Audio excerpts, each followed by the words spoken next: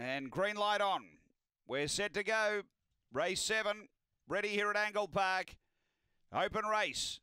Ready. Came and went. Stepped okay. Sunset Toxic flew out. It's going to drive and look for the front and get it. So Sunset Toxic runs along to the first bend and opens up. Got away by three to Show Me Bucks. Three away came Springvale Roxy. Uh, then Occipital Eyes came and went. A gap away Express Speed and got the swagger. But down the back, Sunset Toxic out by five. Uh, Show Me Bucks doing the chasing. A couple away Springvale Roxy and came and went. But Sunset Toxic sizzling here. Clear over Show Me Bucks. Down to the line. Sunset Toxic by seven lengths. Show Me Bucks second. Springvale Roxy third. Uh, then came, came and went from Express Speed. Got the swagger. Occipital Eyes. And the time here is good 30 and 19.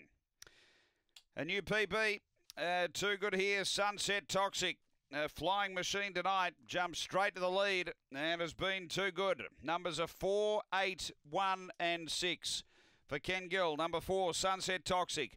Uh, second, going to 8, Show Me Bucks for Tony Rasmussen. And third to 1, Springvale Roxy for Mick Gideotis. It's 4, 8, 1, 6 after race 7 here at Angle Park.